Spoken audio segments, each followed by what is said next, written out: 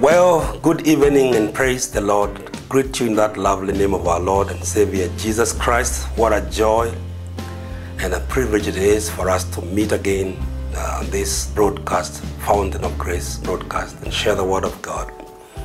Uh, so, welcome to tonight's program. I have been sharing for some time now on a subject, the manifestation of the sons of God. Uh, like the Bible says in the book of Romans, in chapter 8, verse 19 all of creation awaits the manifestation of the sons of God.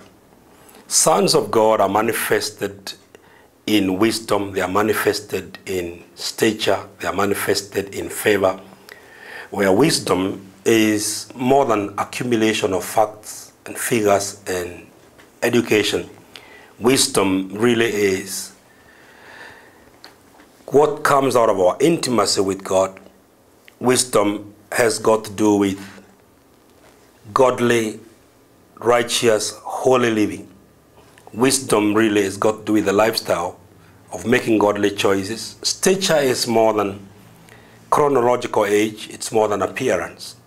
Stature has got to do with having weight, having content, having the internal design that has been crafted within us by God, where our spirits emanate the light of God. Sons of God have got to do with those that have come to a place of maturity and are walking in divine favor. We've, we also been able to look at something uh, according to the Bible, the book of Isaiah, chapter 9, uh, from verse 6. The Bible says, For unto us a child is born, and to us a son is given. And the government will be upon his shoulder, and his name will be called Wonderful Counselor, Mighty God, Everlasting Father, and Prince of Peace. We saw from the Bible in last week's program that a child is born. The agency through which we are born into God's family is the agency of water, which prefigures the Word of God, and the Spirit, by whom we are convicted to begin the journey and our walk with God. While as a child is born, the Bible says a son is given. That given over there implies a process. It is a process through which those that have been born into God's family as newborn babes, desiring milk, the pure milk of the Word of God, those ones going through a process that is allowed of God come to maturity, come to sonship. According to the Bible, there are two parts of that process of the maturation of the sons of God. The first part is the process of adoption. According to Romans chapter 8, verse 14 to 17, and Galatians chapter 4, verse 1 up to verse 7, we know that the adoption process through which children become mature sons in God is a process through which we learn how to be led by the Spirit. The Bible clearly says that those who are led of the Spirit, those are the sons of God. In other words, then, sonship is seen in how we are able to follow the leading of the Spirit. Why? Because we have received Him, the Spirit of adoption, and we have been adopted into the nature of God. We have been adopted into the family of God by Him. And as He works within us and as we mature in God, we get into a place where we are able to become good followers of God because of that adoption being added, being brought into, being enjoined into God's family, which is a spiritual family. The second process through which sonship is perfected in us is the process of suffering. You cannot separate maturity and suffering. There can be no maturity, there can be no perfection without suffering. You and I know of processes through which products, like in our homes, are manufactured. And some of the products are manufactured under intense pressure, a lot of heat, a lot of tension, etc., etc. Similarly, in our growth and our development in Christ, we go through suffering. God allows us to go through suffering. And that happened for Jesus. In Hebrews chapter 5 and verse 8, we clearly see that though he was a son, the way he learned obedience and compliance to the mind, to the will, the perfect purpose of the Father, was in that the Father allowed him to go through suffering. He learned obedience through suffering. Hebrews 12 again, like we saw last week, Hebrews 12 from verse 6 up to 13, the Bible clearly says that it's the son that God loves that he chastises. It's the son that he loves that he afflicts and allows to go through pain and sometimes very painful processes. What is God up to? Is he after killing you? Is he after destroying you? Is he envious, doesn't want you to enjoy a good life? Not so. The Bible clearly says he knows that through suffering, then we become partakers. We become heirs. We become partakers. We, we access the holiness of God through the agency of suffering. So, sonship is given for us to move from childish ways into mature ways in God. We'll definitely go through that adoption, the workings of the Spirit, and the sufferings that we have to go through so that God can perfect us and God can complete us. I want us to move on now in our study tonight and um, consider this fact here. We were created to function as sons of God. From the very beginning, God's mind was that He would create man and that man would be His son and that man would function as son of God. The Bible clearly says in the book of Luke, chapter 3, verse 38, in, in giving the genealogy of Jesus, all the way tracing it from Jesus all the way and going back all the way up to Adam. The Bible clearly says that Adam was the Son of God. That's interesting. It's in the Bible that Adam was the Son of God. If Adam was the Son of God, then it means God intended from the very beginning that man would be his son. And many of us would form what I call a corporate son. A corporate mature son in the Bible is called a teleos, in the book of Hebrews and chapter 4. From the beginning, God intended that man would walk with him and work with him as a son. There are certain characteristics of that son that God had in mind from the beginning, which, if they be absent from any one of us' life, then we cannot walk and function with God the way He wants that to be done. To help us understand some of the attributes, some of the things God wanted to therefore compute into man and release into the spirit of man, so that by that then man would be this son, this ideal son, this son of his love that God intended for uh, to have. The first thing we see from the Bible in the book of Genesis, I'm rushing there now, Genesis in, in chapter 1. You must have realized I like to read, read the Bible a lot in the programs, and that's still okay. When we allow the scripture to help interpret itself, that's better than when we give our own thoughts. Genesis chapter 1, verse 26 and 27 says,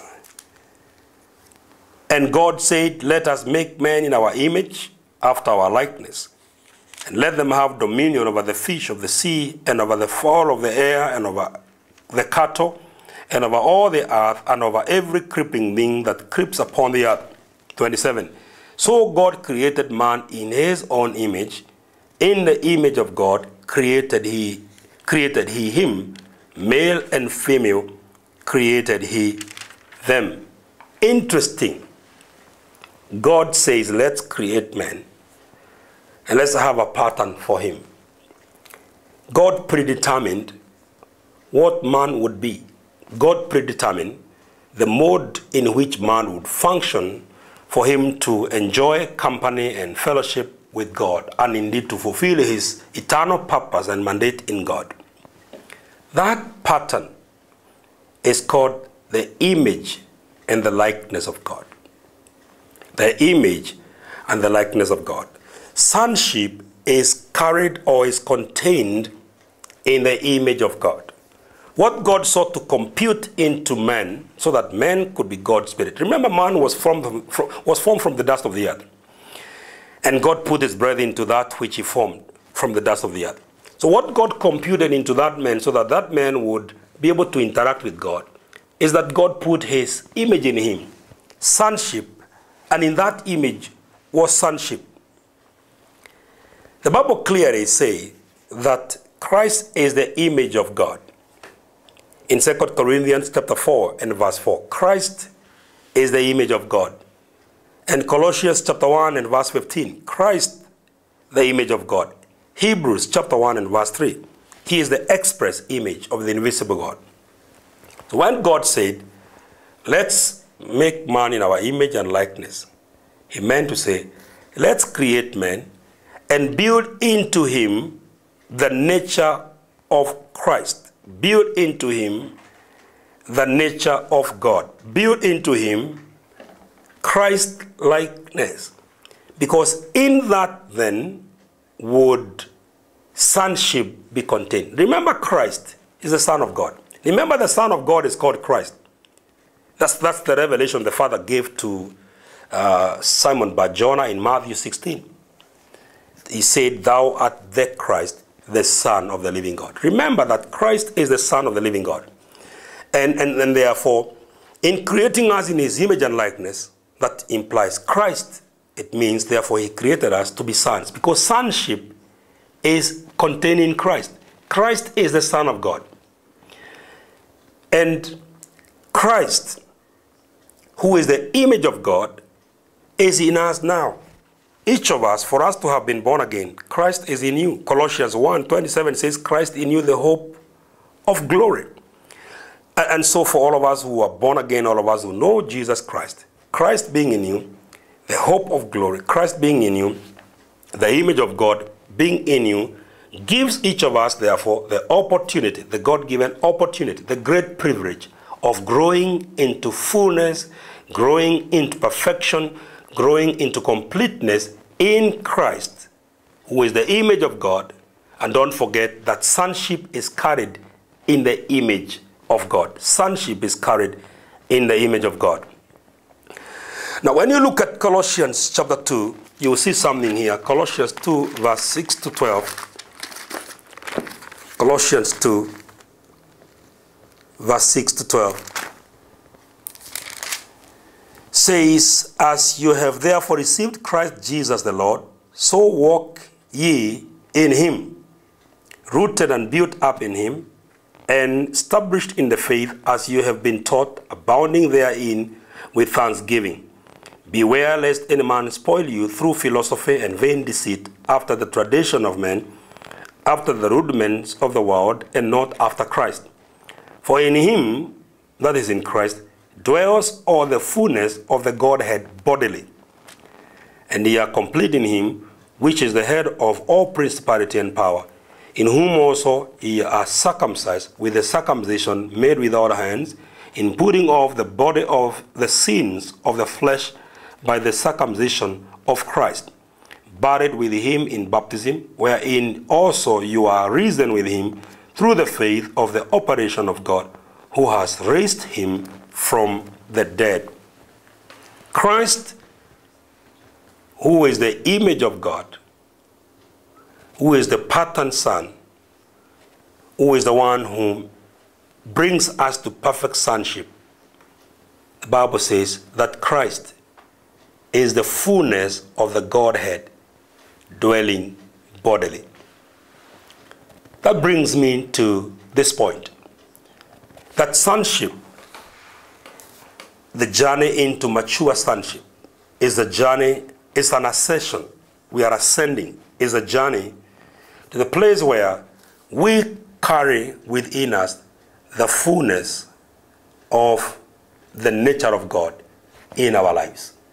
Sonship brings us to a place, mature sonship brings us to a place where we put God on display in our lives, in this earth, presently. Don't tell me it cannot be done because the Father sent the Son, Christ, to come and put that on display to show us that it is possible to live in the earth in the body of a human being and put God on display. And when men interact with you, they don't just see another human being, but they sense the presence, they sense the grace, they sense the life of God in you. It is possible. I'll be back in a short while and we continue looking at scriptures together until we all come to a perfect understanding of this matter how we were created to function as sons of God in the earth presently. Don't go away, I'll be back shortly. For you I will live beyond all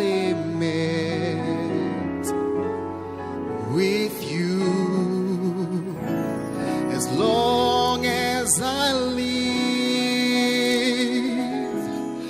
Oh Lord, I will glorify you.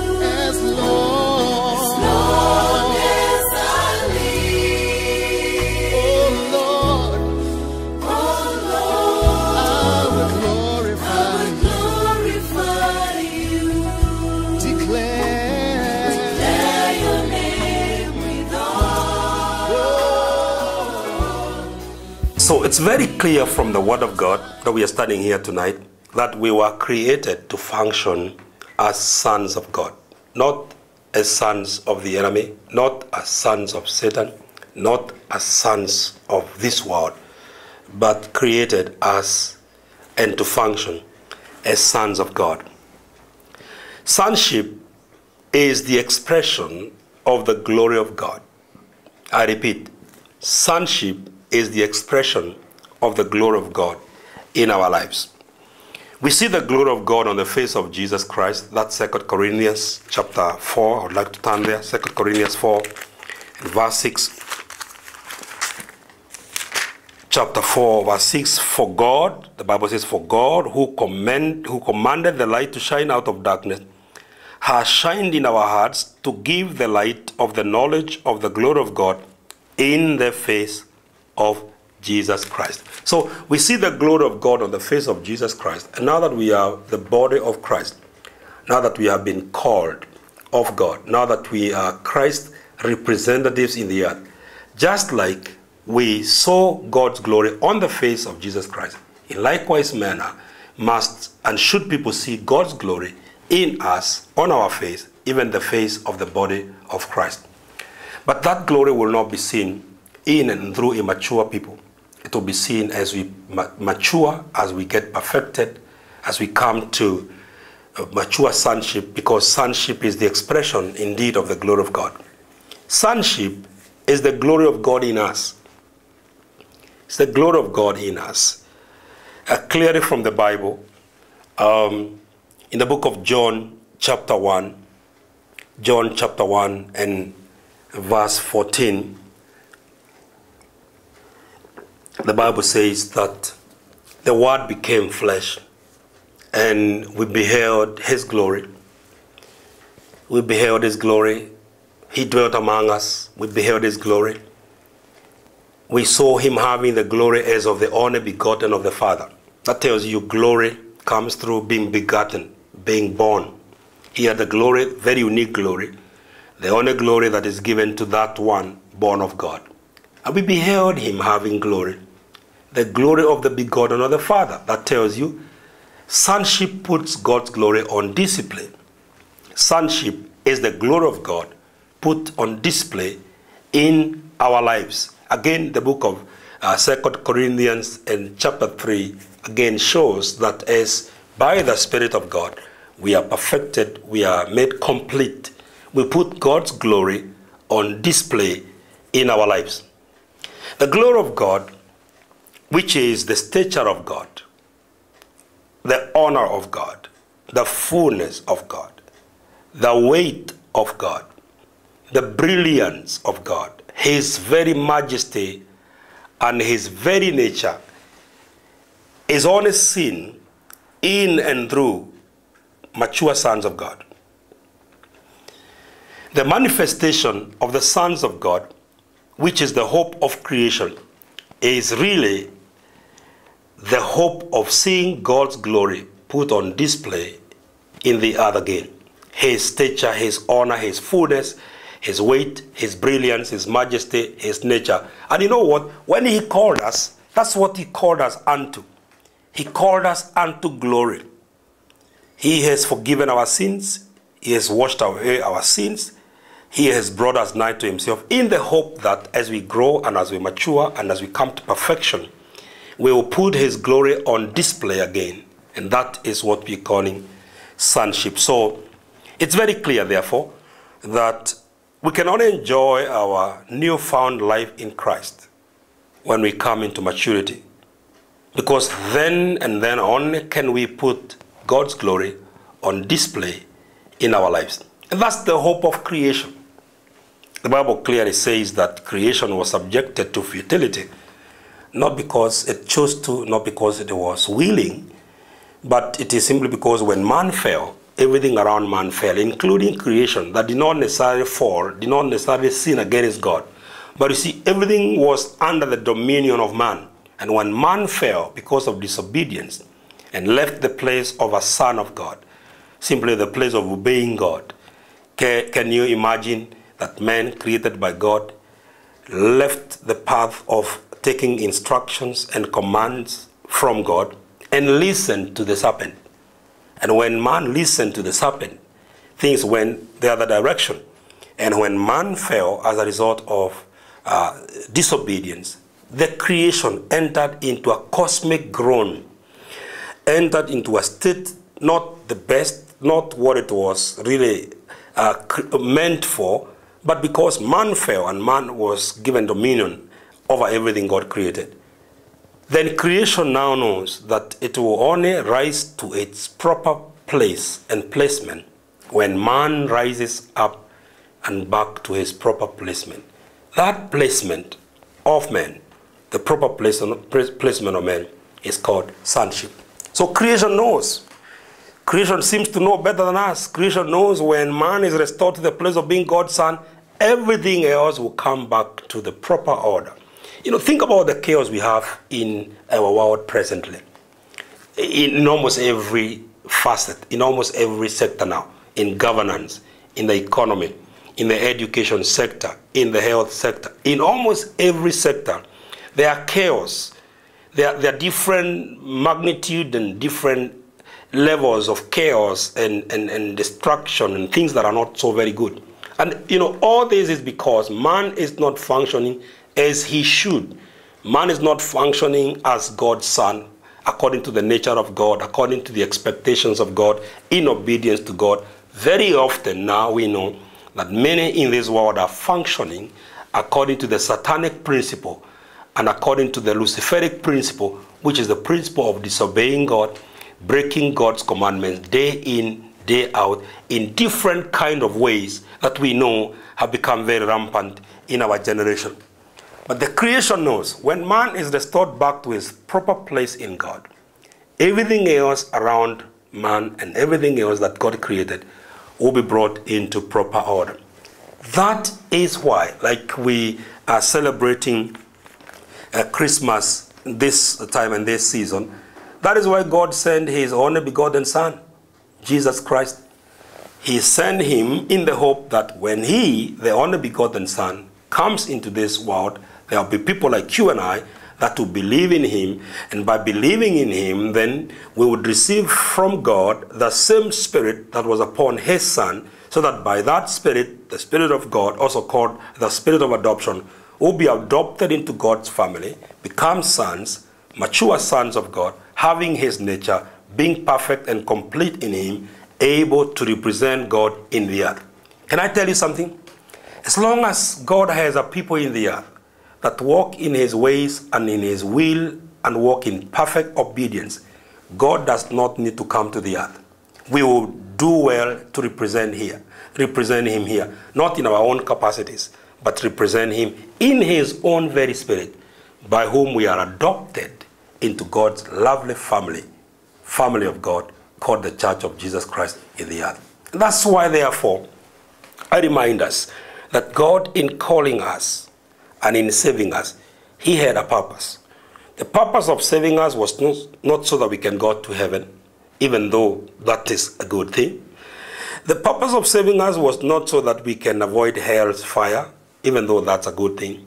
in saving us, like He had in mind in creating the initial man, Adam.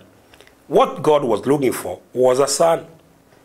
And that's the son that God lost in the Garden of Eden. That's what God lost.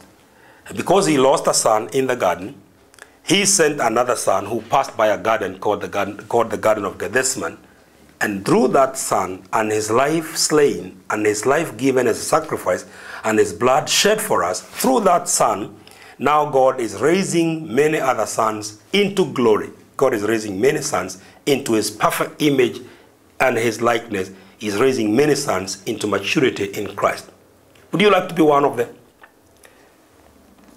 Because that is ultimately what gives Christianity a meaning. When we live for a purpose, and not just any purpose, but when we live for the purpose for the which God created us in the first place, Christianity takes a whole new direction and has a whole new meaning. And it becomes exciting to look forward to yet another day, another month, another year, another time, because all these are opportunities God has given us to know Him, to seek Him, and to grow in His ways.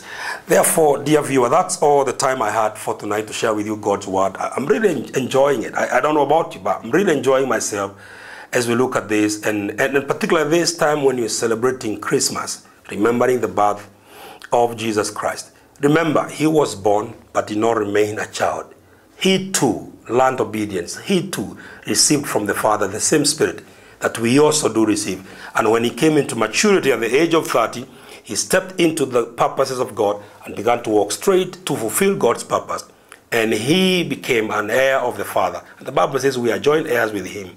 Why? Because he, he walked in maturity and perfection. So let's rise up, let's seek God, get back to His Word, get back on our knees and seek God until we all come to maturity. So I wish you a lovely night and I wish you a lovely Christmas season and holiday. Enjoy yourself and remember that Christ is the reason for the season. God bless you and may He also bless that which is yours. Good night and God bless you.